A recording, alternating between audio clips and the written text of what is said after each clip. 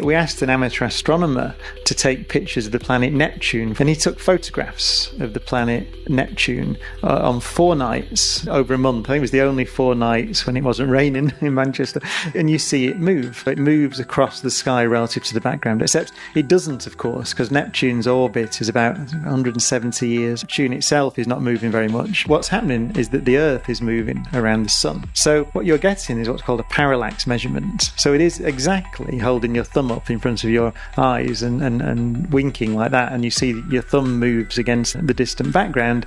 And if you really want to, and you know the distance between your eyes, you can measure the length of your arm using parallax. So if you know the radius of the Earth's orbit, so you know how far the Earth has moved over a month, a twelfth of it, then you can see how far Neptune moves and you can work out the distance to it. And this is how all distance measures in astronomy are calibrated.